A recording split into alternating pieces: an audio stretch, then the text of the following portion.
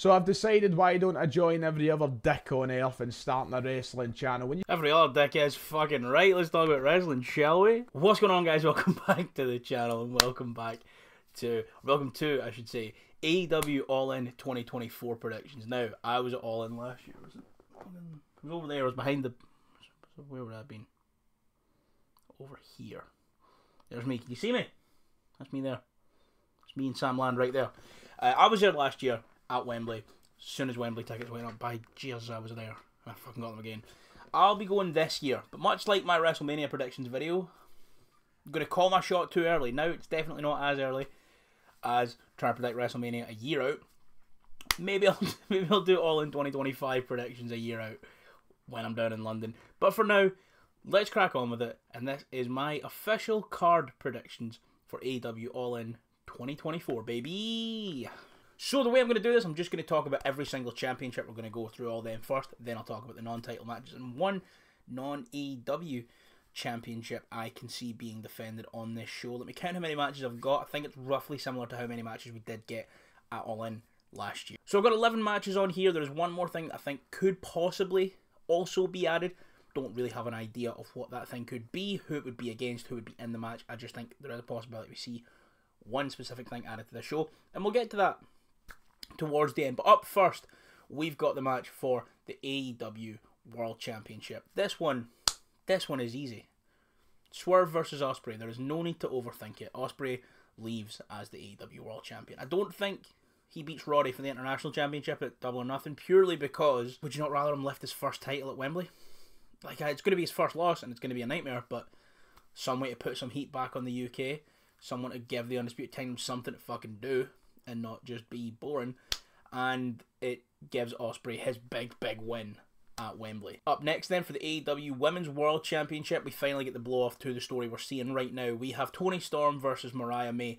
Mariah May, obviously from England. Toni Storm cut her teeth between England and Japan. This story's finally going to culminate at Wembley. Listen, jeez, the boys were the boys were pretty fucking excited when Toni Storm walked through that curtain last year. That's when Timeless Toni was only really beginning.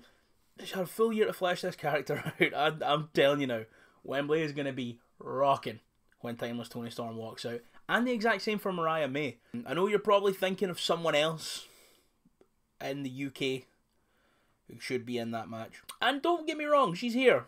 We'll speak about her in a wee minute. This one just makes sense. I think Tony runs through a couple more challengers, and then at you know a show in front of sixty thousand people because I think the cap's been reduced significantly because All In falls in between Foo Fighters and Taylor Swift, or Taylor Swift and Foo Fighters, one of the two and Wembley don't have to break down the whole big fucking stage again. And I think that's fair. I think losing Punk as well would have had an impact on tickets. not saying they couldn't have shifted to 80,000. I think it would have been tougher to shift to 80,000 without uh, a Punk. 60k though, doable, as you can see by the way the tickets have sold. But I do think the Women's World Championship match, Mariah May will walk in as the challenger and defeat Timeless Toni Storm. We're having both both titles change hands here. Uh, we shall see. I'm also throwing in a lot of predictions for the match, but this is just mainly a card predictor video. Up next, then, for the TNT Championship, I have current and reigning champion Adam Copeland. He'll go in and he'll drop that title to the scapegoat Jack Perry. This is going to be a year on from when the scapegoat was born. This is a year on from Crimea River. This is a year on from from Pepsi Phil putting him in a, putting him in a headlock. This is a year on from that match with Hook. This is a year on from all of that happening you have to capitalize in the same venue where it all happened. You have him win, not the big one. Doesn't make sense to have Jack Perry in that world title match, but against a guy like Copeland, the guy who since he's came there has done nothing but help put over the young guys and want to work with the young guys. And then we have this guy whose character is just this entitled younger wrestler who doesn't care about the advice of anyone except for Matthew and Nicholas. Yeah, I think it just makes sense to have Cope drop the title here. That is a little bit longer than I would have expected him to hold the title, but when I thought about Perry beating a fucking beloved icon like Cope in Wembley, that make, just makes sense. And now to talk about the TBS Championship. This is one I don't have a winner picked out for. I can see one person winning. I can see the other person winning. Unfortunately, unfortunately, this means Willow's TBS title reign in where in my head canon lasts until Double or Nothing because I think the TBS champion Mercedes Moné will defend against the hopefully returning Jamie Hayter. She's been out for a while. We keep hearing rumors that she's coming back soon. I truthfully don't know where Jamie Hayter is in terms of her recovery, and I never really want to speculate on recovery from an injury. Um, only reason I, I you know, was booking around a summer of punk in WWE is because his arm looked great over Mania week, and he stopped wearing the brace now on TV. And I know I'd made that before. he stopped wearing a brace on TV, but I think his injury was very clearly coming to an end. He wouldn't have been on TV all the time if he wasn't comfortable enough to be on TV all the time. Uh, with Jamie Hayter, she's been out for a while. She's been out, uh, you know, coming up on a year now. I think maybe over a year, and you know, I hope to see her back at, at Wembley. We she was missed severely at All In last year, and I think bring her back against another person who technically debuted at All In last year. Get her Mercedes Moné, and let the two of them just fucking cook for that TBS championship. Also, I'm not. Yeah, it's over there. I'm not changing this. I was just going to stay there. Um, because my Mania prediction video was 40 minutes of unedited footage because I just keep going back and like, Jade, her girl, because my phone wouldn't connect up to it, and I don't want to fight with it today. Maybe the next time have specific things to show in the background, but for now, you may look at that one singular image from Wembley at the start of Punk's entrance. Because I'm not over it. I'll never be over it. God bless Phil. Now let's talk about the AEW World Tag Team Championships. They are currently held by Matthew and Nicholas Jackson, and I think Matthew and Nicholas will retain these championships at double or nothing before entering a nice big summer feud that will hopefully pay off with them losing the titles to people who aren't even in the fucking company yet, baby. Yeah, we're booking around contracts that don't exist yet because the Motor City Machine Guns are going to dethrone the Young Bucks at Wembley. I hope. I hope. I really hope. Because I want to see the Motor City Machine Guns wrestle live. They're my favourite team ever. Alex Shelley's my favourite wrestler ever. They have a lot of history. And I also think all the reports are pointing to the guns showing up. And they're going to be a big deal out the gate, especially the tag division, which was something AEW was really prided itself on in the beginning, has kind of waned a little bit recently, in my opinion, anyway. What better way to re-establish some value than having the best team of all time in there? They've got two and three. They've got two and three in there. Let's get number one and two, and let's have them win the big ones in front of sixty thousand people, and I'll be doing flips. That's a promise.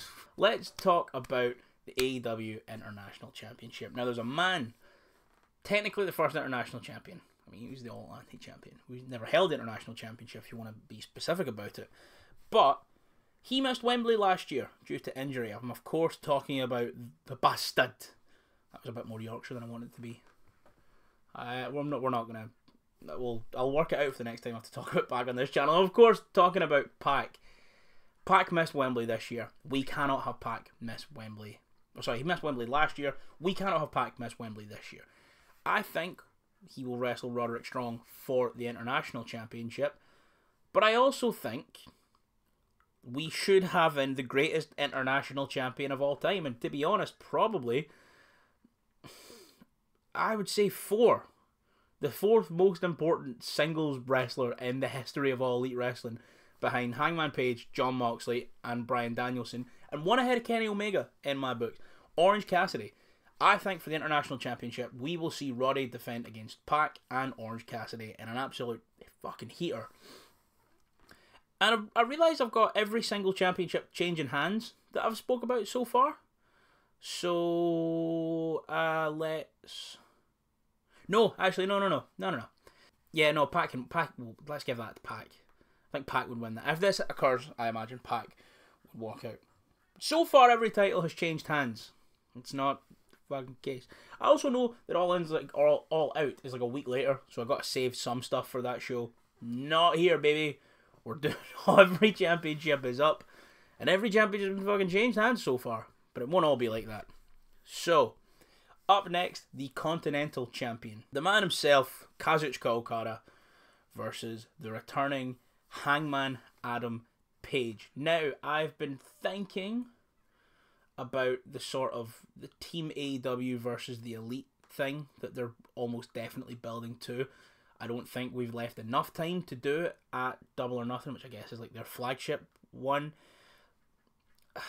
Do you do another stadium stampede here? Yes, I can see it, but that takes the Bucks, that takes Okada, that takes Perry, and that takes someone else out of.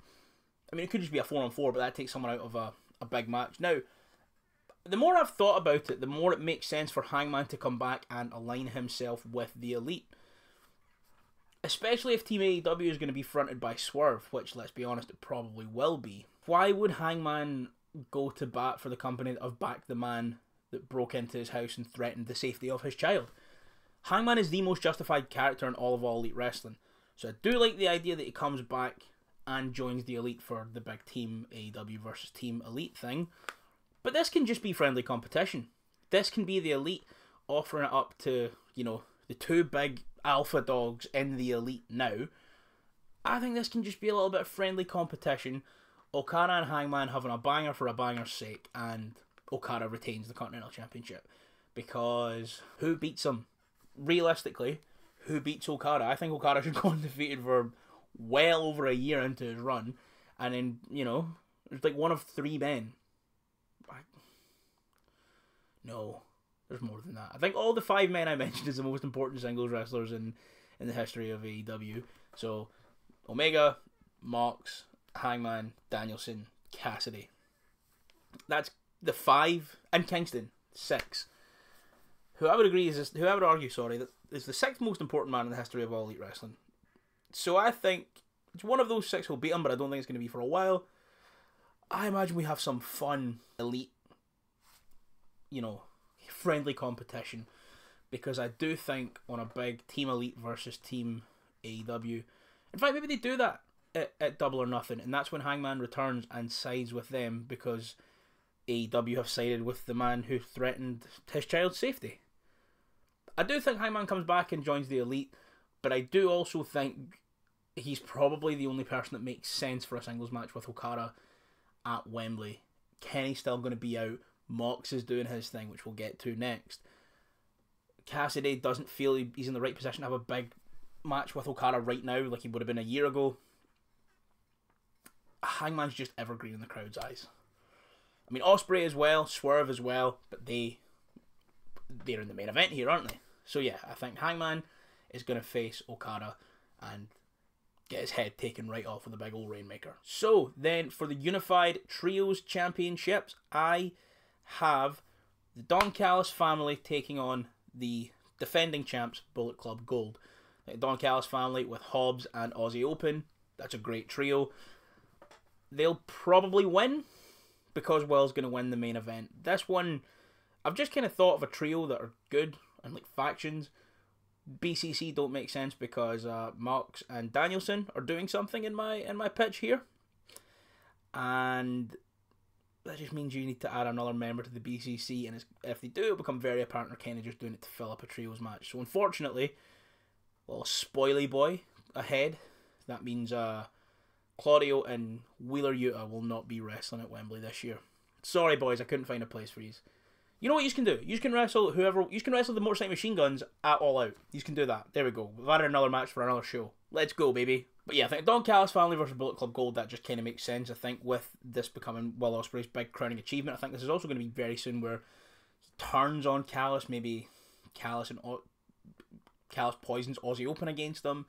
And then we can just have full on babyface Will Ospreay with no ties to Don Callis, which I I like him with with Callis, but it doesn't make a lot of sense why why he's acting the way he's acting, but the rest of the family are the rest of the family. So, yeah, I think the Don Callis family versus Bullet Club Gold, and this will be the beginning of the downfall of Don Callis family. Even though I do think they probably win it here, I would imagine.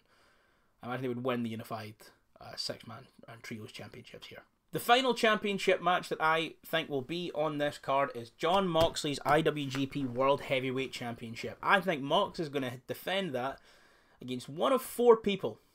There's four people here. There's one that's not very likely because of his relationship with New Japan. Let's just get that out of the way. That's Shibata.